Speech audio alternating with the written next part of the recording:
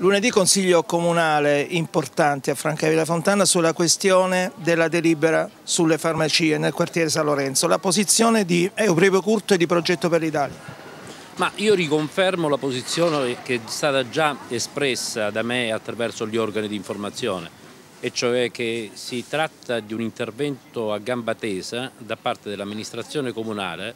nel momento in cui si debbono pronunciare due tipi di giudici, quello amministrativo e quello penale.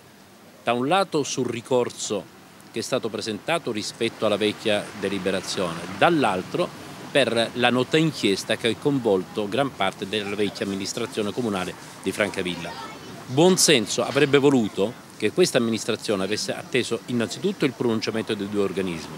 per poi evidentemente assumere eh, una posizione al riguardo tenuto presente che forse il sindaco Maurizio Bruno non sa, non conosce eh, quali sono le sue competenze, che sono assolutamente enormi anche rispetto al piano di localizzazione delle farmacie. Qui è successo questo, cioè che l'amministrazione comunale di Francavilla ha di fatto riaperto un procedimento amministrativo che invece era scandito da una tempistica ben precisa. Vale a dire che nel 2012 vi era un termine entro il quale le amministrazioni dovevano indicare le sedi per l'allocazione delle nuove farmacie, questo è stato fatto, c'è un giudizio amministrativo in corso per verificare la legittimità di quella scelta, c'è un procedimento penale penale in corso come tutti sappiamo. Non è possibile a mio avviso, ma anche ad avviso della Regione Puglia, ma anche ad avviso dell'ASL, riaprire quei termini modificando una decisione che era stata tempestivamente per quanto discutibilmente assunta. La Regione Puglia ha già impugnato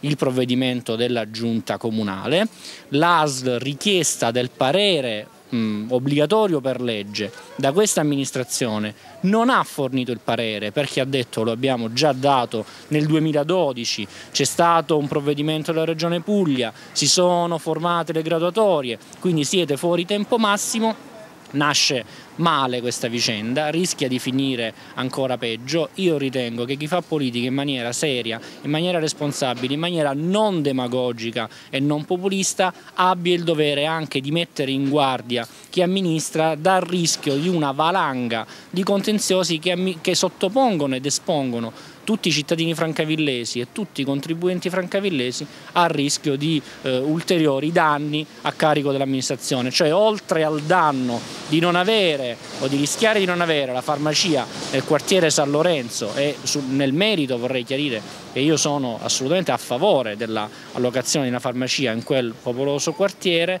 si potrebbe aggiungere la beffa di esporre questa città a eh, vicende giudiziarie assolutamente inopportune e onerose.